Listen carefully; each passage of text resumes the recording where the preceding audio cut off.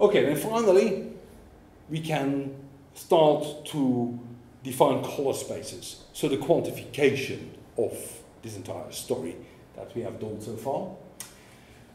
For instance, if we want to uh, generate uh, an image on a screen, we have to know how much energy we put in the three types of phosphorus the screen has. Now, traditionally, the CIE, the standardization body, has also defined three standard light sources, monochromatic light sources, that are used as a reference in much of color quantification. And these three CIE primaries, as they are defined, so the three light sources, are monochromatic indeed, and with wavelengths 700, and this one 550 like, and then a short one. So basically we have a red primary, a green primary, and a blue primary. That is what this amounts to. And they are all monochromatic, so they have only a single wavelength. But now if you would have different screens, you might have slightly different phosphors and so on. So um, be prepared for the fact that we have to think about how we can go from one definition of color, quantification of color to a different scheme, depending on the primaries, uh, for instance. But these are the reference primaries the CIE has uh, defined.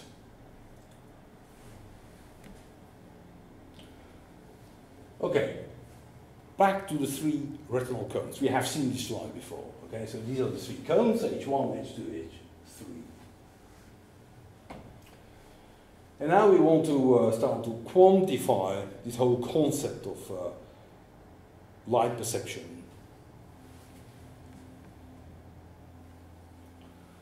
Okay. A first question we will ask ourselves is, given the three primaries the CIE has defined, so these three monochromatic sources, how could I combine them and give the same impression as a given light source C of lambda? So again, this would be amount of power for each wavelength.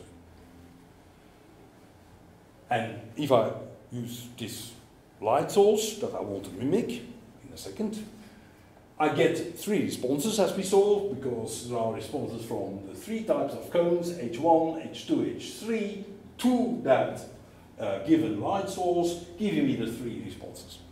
That is what we have seen before.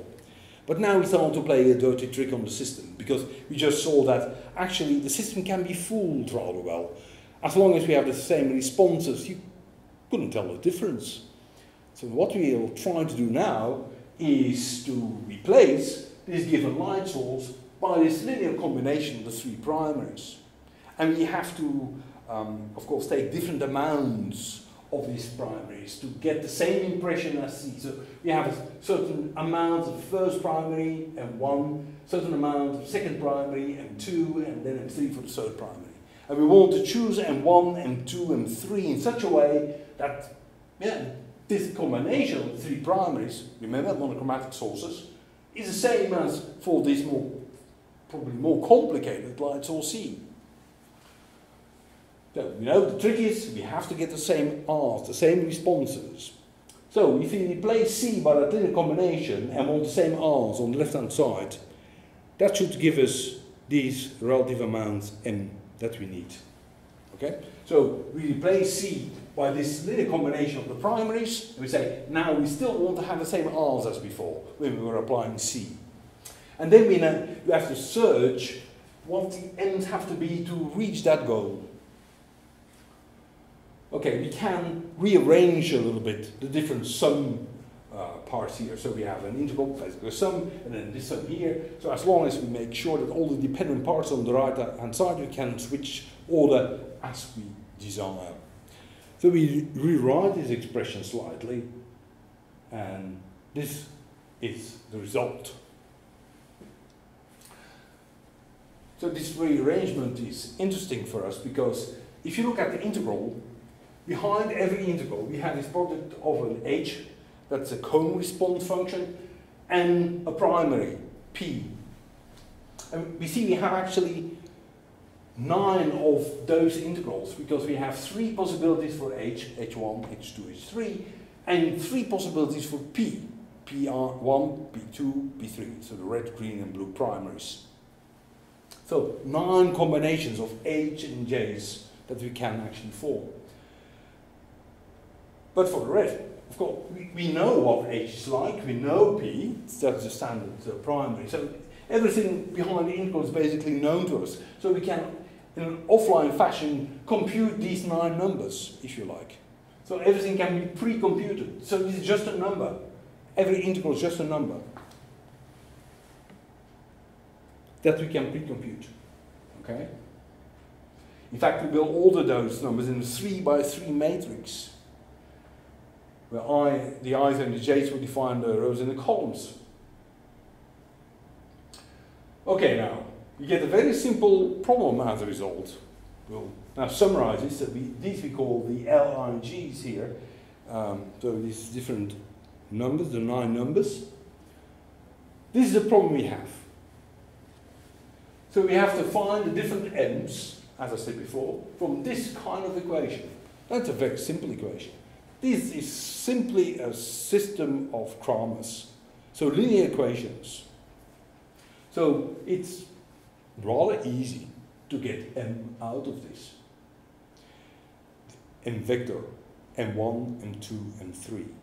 Because we need to know for each primary how much of it we have to take. Now, if we start to change primaries, suppose you go to a certain screen, you want to generate the same color, you have three different primaries, uh, let's say three other monochromatic sources in that case.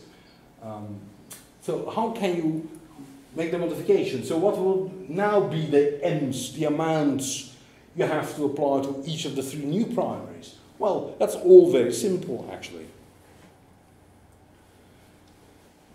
So this is the old system. This is the 3 by 3 matrix. So the Lij's ordered now in a 3 by 3 matrix. Lm gives is R. And now we have want to have the same color, same R. But with different primaries. So all these integrals will change a little bit. These nine numbers, this 3 by 3 matrix changes because we have now a different screen, different primaries. So we have L prime rather than the original L for the different primary sets. And so accordingly, we'll now also have to apply or take different amounts of the three new primaries to get the same color. Oh. You can see that if you have solved for these m's here, you can just linearly, because both are 3 by 3 matrices, you can linearly derive from M the new primary, the new uh, amount for the new primary set. So everything is linear up to this point. Okay. Now, the, the further discussion of color uh, actually involves two normalizations. And the first thing is we go now from these m values, this amount that we have to take of each of the three primaries, to, to the so-called tristimulus coordinates. And to do that, we have a first normalization, where white, a standard white, is actually used as a reference. So the question here is, which m's would you have to apply to get a certain standard white. More about that in a second. Which m's, how much of each of the primaries would you have to take to mimic this white?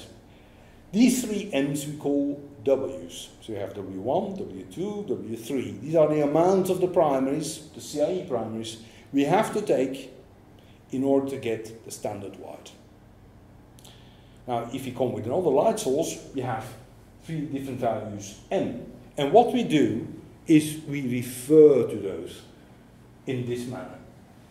So actually a tristimulus coordinate gives you a ratio between the amount of a primary you have to take to get the same impression as a certain light source over the amount you have to take of that same primary to mimic white.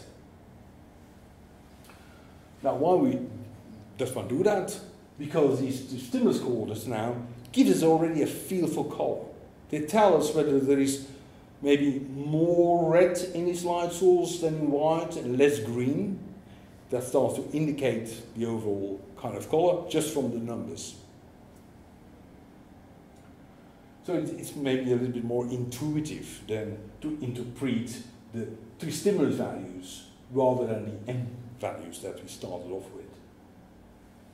So we refer to the standard white. Now, I'll probably promise you more information about the standard white.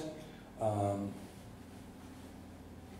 the standard white, the CIE white, so CIE also defined this white, is uh, a, a source with a flat spectrum over all the different wavelengths, and such that we have to take equal amounts with our primaries to get that same impression.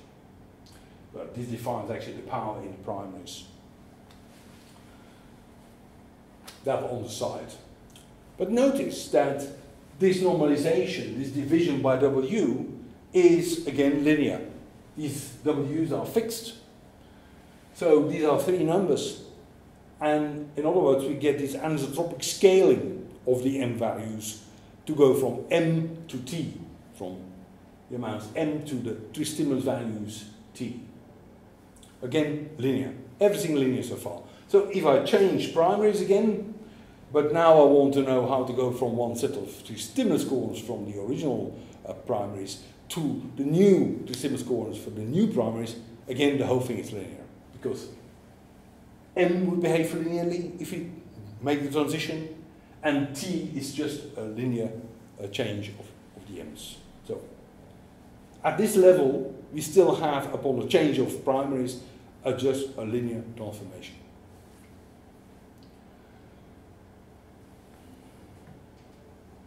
Notice that if our light source would be the standard white, then of course we would have just one for each of the three stimulus coordinates, with W over W. so if you would look at uh, the stimulus coordinates, you would know where to find the, the white that has been used. It's found at 1, 1, 1. These are the coordinates of white in the stimulus coordinate system. Which so far, by the way, is also still three-dimensional.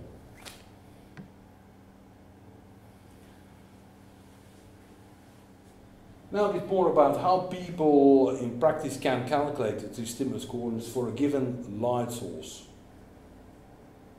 C of lambda. So typically a light source will have multiple wavelengths, but we start the story by reference to what we need to do to mimic the impression of monochromatic light sources. So what you have here are uh, these uh, spectral matching curves, Tj that we will derive, so T1, T2, and T3.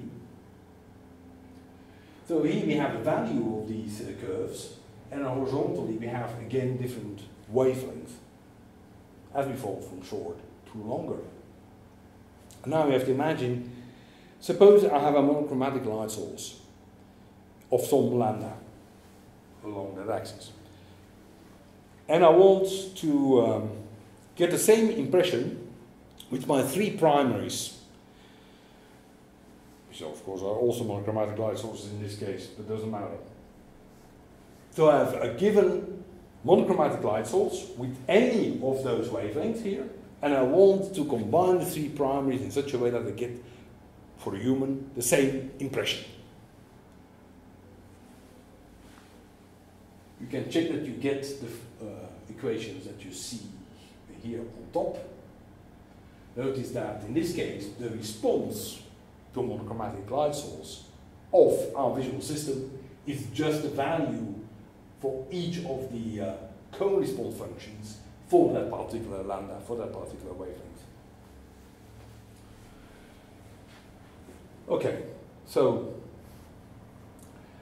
here are the answers. So here we see how much of each of the three primaries we have to take to mimic the different monochromatic light sources. So if you're at a certain point, let's say here, you want to know how much of each of the three primaries you have to take. Go vertical here, you see where that intersects the three curves. These are the three, um, basically the three numbers m or the three stimulus values you have to take in order to get the same impression as that monochromatic source. And we see for different uh, wavelengths, indeed, we have to uh, choose quite different amounts for the three CIE primaries. Now, something about this curve you should feel is quite alarming because as you can see, we don't only have positive values, we also have negative values like this one. That's the most outspoken bit that is negative. Actually, here, this curve also goes below zero. So we have, like everywhere, almost everywhere, you have one of the three primaries being negative, uh, one of the three curves, sorry, one of the three spectral matching curves being negative. And that doesn't work, because what we are now saying is that in order to mimic a wavelength, uh, monochromatic uh, source with a certain wavelength, you have to take a negative amount of one of the primaries. Now this is something you can't do. We cannot take a negative amount of a primary, uh, a primary with a negative uh, amount of energy in it. So these negative values we cannot physically realize. And the worrying thing is that there are negative values all over the place here. So it's like, hmm, you have problems with monochromatic curves, and that's indeed the case. So it's very difficult to get a perfect uh, replica of a monochromatic source with our three uh, primaries.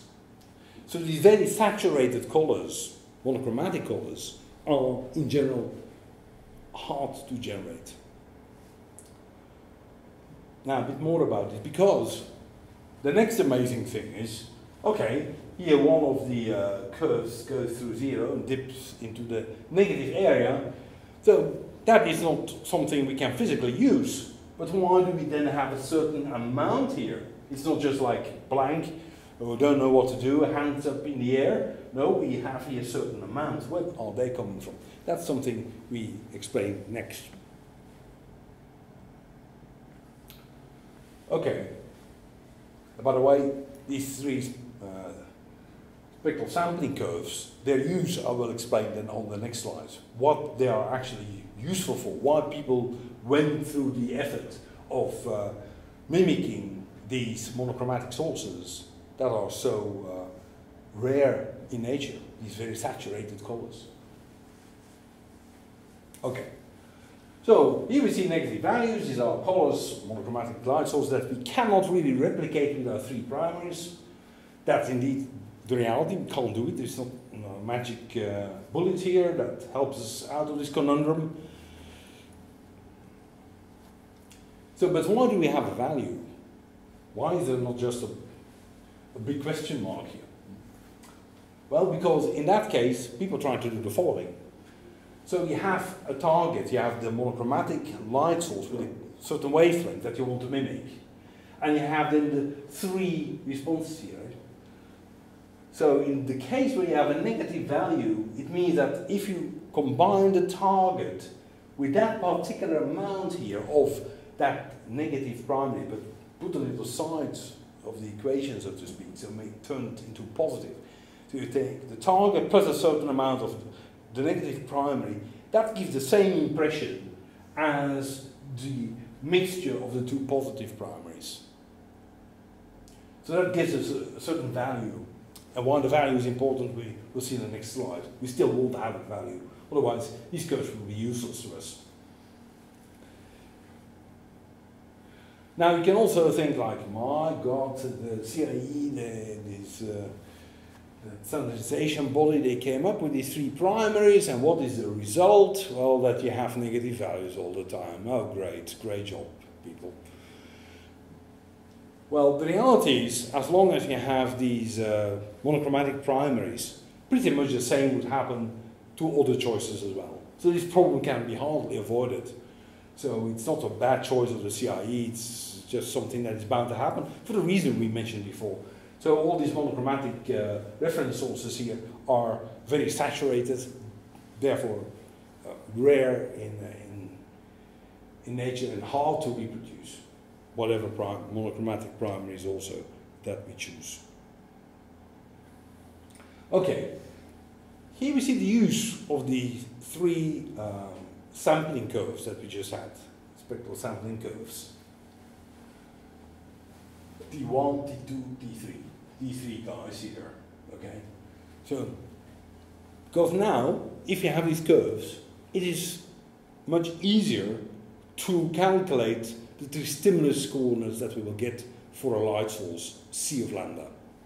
So here it is again, our general light source C of lambda. You want to know what are the stimulus coordinates for that light source. Well, what do you do? You uh, split actually again, same old trick. You split up for every wavelength and you multiply with the amount of primaries you would have to take to generate the same impression, the same uh, impression for that wavelength, for the power that we have of that wavelength in our source C lambda. So again, it's really a combination trick. So we just split up according to the wavelength, and for every wavelength we see what would be those spectral matching curves, and then we add up and get the three stimulus coordinates of the light source C of lambda. From that, let us calculate the three stimulus values for just any light source C of lambda, based on the spectral matching curves that we derived. Okay, I talked about two normalizations before that we have in the quantification of color. We already had a first where we make that reference to white to go from the m values to the tristimulus coordinates capital T. Now we go to chromaticity coordinates. Thinking about it, the tristimulus coordinates were not really color coordinates in the sense that the stimulus coordinates would still contain information about the brightness. Right? So if we uh, add all the m values for a certain uh, light source with 10%, also the t uh, coordinates, the T stimulus coordinates will go up, uh, because, and we basically only increase the brightness, not the color of our light source. So there's still that, that brightness information in there, and we want to get it out. We want to go to something that is pure color. And that's what the chromaticity coordinates do for us in a second normalization step. And here it is.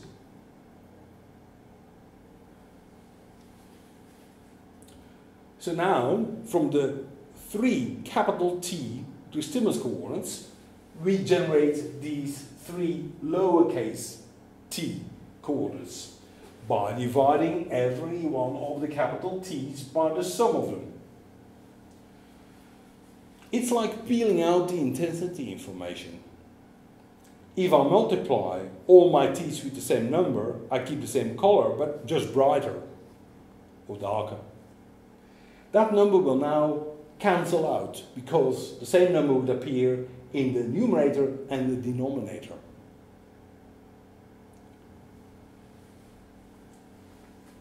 So it's like throwing out the brightness information, only keeping the color information. You may now say, but okay, we still have three lowercase t coordinates. Yes, that's true, but of course, if we take the sum of all three, T1, T2, T3 here, we will always find 1 for the addition. They always sum to 1 by the very definition, as you can see. And that also means that if I know two of them, I know the third.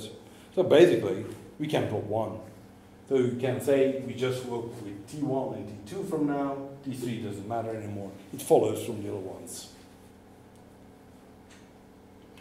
So these two chromaticity coordinates specify, specify now the actual color information. The brightness has been dropped out. Now we are talking about hue and saturation only. Note that for standard white, where we had capital T1, capital T2, capital T3, all being 1, for standard white we get lowercase t that are 1 over the sum of 1 plus 1 plus 1, so one third. So the color um, white in the chromaticity coordinate space is found at one third, one third. That's where you find the reference white with which that particular chromaticity space has been built. And note you can give another definition of what you call white, and you would uh, then get different tristimulus coordinates, different chromaticity coordinates. So okay, now we have defined this stimulus coordinates. Uh, we go back to the CIE primaries and CIE wide and look at the tristimulus coordinates for that particular choice. In that case, we call them RGB. Probably you have heard of these uh, tristimulus coordinates already. And also for these RGB, these capital RGB, the, the stimulus coordinates for the CIE choices of primary and wide, we can define chromaticity coordinates as we just saw. So we take these ratios and that gives us a chromaticity coordinate lowercase r and lowercase j, uh, g for um, the e choices. And below you see this uh, color space drawn. So here, based on those definitions, you would find, previous definitions, you find 0, 0 gives us B, there's no red, no green. Here, 1, 0 we have red, and here we have green at 0, 1 for the um, chromaticity coordinates. Yeah. Based on mainly these equations, but also what we saw before. Right, so now if you look at this diagram, what are the colors, the different colors that we could see? Well, the line in this envelope here starts here, go, follows this spectrum locus, as it is called, and goes back here. So all the colors within this area we can see. By the way, spectrum locus, that is a place where we have all the light sources that are monochromatic, so highly sat saturated colors. These are so-called lines of uh, purple that we have.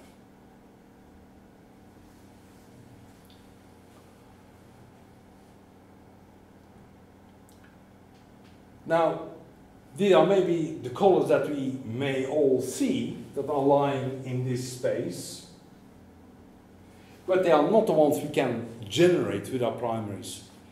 Because these, again, for the same reasons, can only um, be generated for positive chromaticity coordinates. And that means only for this small part here. All other places in this, uh, this uh, diagram for uh, perceivable colors will have negative uh, values, either negative values for the first coordinate or negative values for the second coordinate. So everything outside this triangle here cannot be generated. Now it looks a bit worse than it actually is. Because, yeah, this may be a big lobe, but if you look at the colors represented here, they're all pretty much the same kind of green. So you don't lose quite that much. We'll see a bit uh, more about that later. But before we do that, we mention again, all these definitions, tristimulus coordinates, chromaticity coordinates, it all depends on the choice of primaries and now also white. Okay.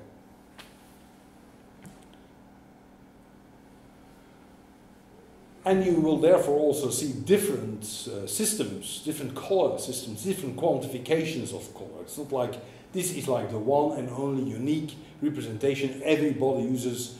There are multiple representations of color, so you have to be a bit careful what people are referring to. There are many, many examples to be given. We just give uh, this example here, where you make a change from one set of stimulus coordinates to another one.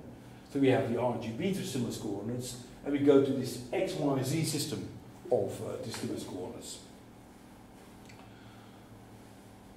And it has been defined because it, for all the perceivable colors, now only contains positive numbers. That's easier. You don't have all these differences of, of sign and so on to, to cater for. Now,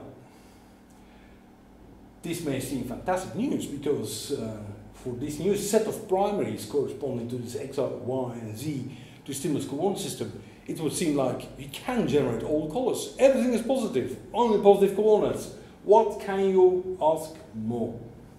Now the problem is that these coordinates, or these, um, these, these um, primaries actually underlying that system cannot be physically generated. So they are virtual. You can't really make a phosphor with these characteristics. Okay, so, but anyway, having only positive values was one reason to make that change from RGB to XYZ. Calculation, calculation is a bit simpler.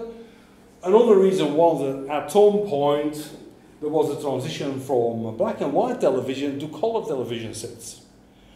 So people wanted to send a signal that would work for both color television and black and white television. And in fact, if you look at uh, the y coordinate here, so if you multiply this matrix with RGB, get a y value, and that y value can be used to directly steer a black and white television set. That's it. That at least an, another historic reason for that particular transformation, which is a pure mathematical transformation. There are no physical primaries underlying it, as I said. But just to note, there are all these different color uh, systems that are being used in parallel depending on the usage, one may a bit, be a bit easier than another. Notice that uh, these two systems, they use the same whites because if you would map 111, which are the stimulus coordinates for white, CIE white, you get again 111 for XYZ. So white goes to white. So did not, here underlying is the same white. And of course, for the system XYZ you can also have the chromaticity coordinates. So with the usual transformation as we have seen it.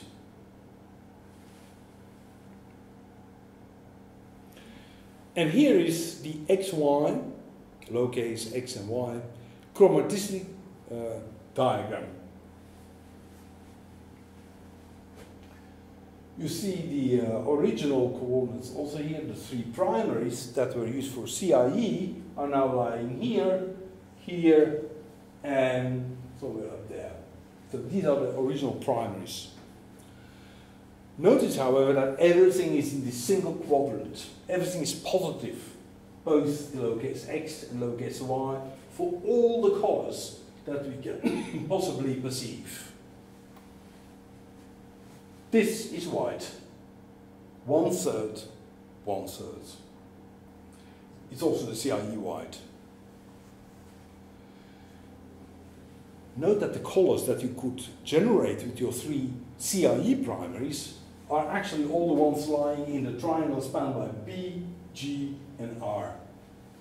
And you see indeed that this is area where you start to lose a lot of colors when drawing the line between B and G, everything falling on the other side there cannot be generated. That falls out of the triangle spanned by the primaries R, B, G. And that's what uh, the colors correspond to. So that would be uh, blue, of course. Then we have somewhere red here. Um, and green would lie somewhere here, the primary. White is uh, one third, one third. So this is now, again, lowercase x, y. We mentioned spectrum locus before, where all these monochromatic light sources are placed that we can see but uh, hardly generate or hardly mimic with our primaries certainly not in, in this area here. But they are fortunately very rare in nature, so we don't lose quite that much.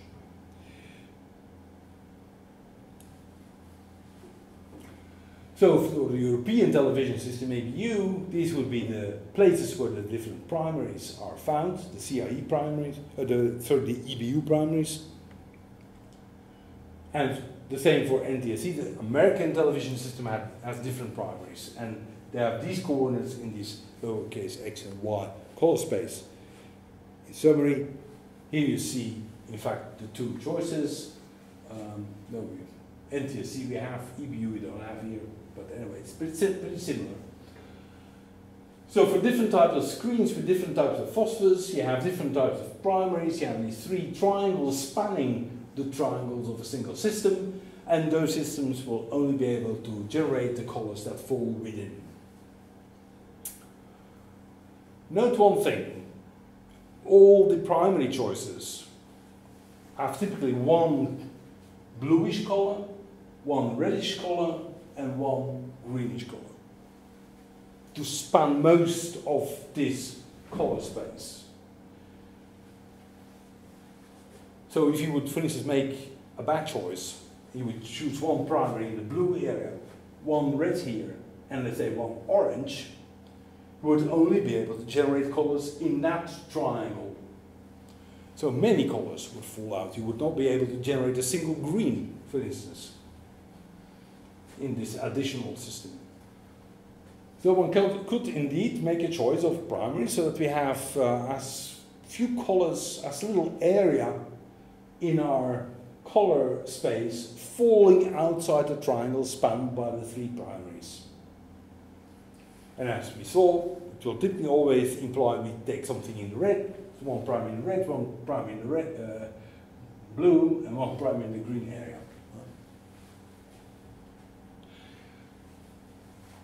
But the another remark is that this space does not really represent perceptual difference all too well. So this is now this XY space that uh, was used in the past, but if you look at perceptual differences, for instance, here we go from green to almost like red in a, over a very short distance. If you take the same distance, but here you hardly see a difference when going from one to the other. And these ellipses show, in fact, th that kind of sensitivity. From here to here, all the colors in that space are more or less seen as the same. And these ellipses get much smaller where you see all these transitions. And the colors in all these diagrams are not fantastically rendered, I have to add. But anyway, if we talk about color in a perceptual sense and perceived color differences, this diagram is still not really doing the trick for us. It's not ideal.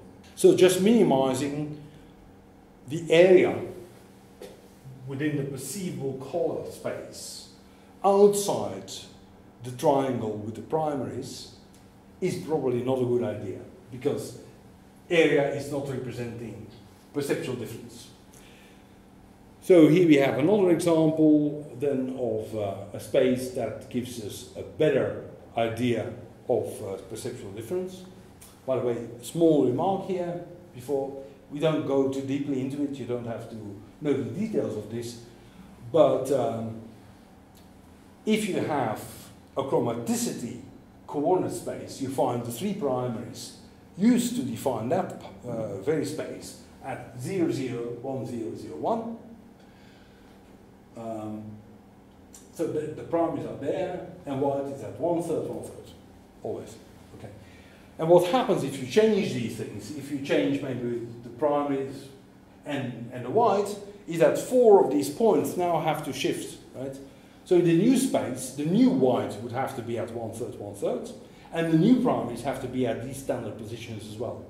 And in order to achieve that, if you go from one coordinate system, chromaticity coordinate system, to another, making that kind of changes, the corresponding transformation is a 2D projective transformation. Details are not important, just to mention this. So, and that is what we will do here. We'll now define yet another color space, and this is the new uh, chromaticity color space for these UMV color coordinates, as they are typically called. You see the transformations defined there, how to go from XY to UV.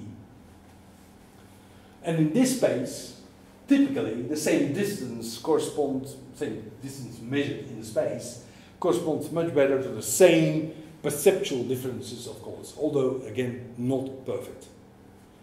But often when it comes to perceptual differences, when uh, you try to optimize something for human observers, this chromaticity space can, for that reason, be a better space to work in, because distance tends to mean more in this space. But again, yet another color coordinate system. So there are many, just to say. It's not because you see some color coordinates that you exactly know what's going on. You have to know in which space are these color coordinates actually defined.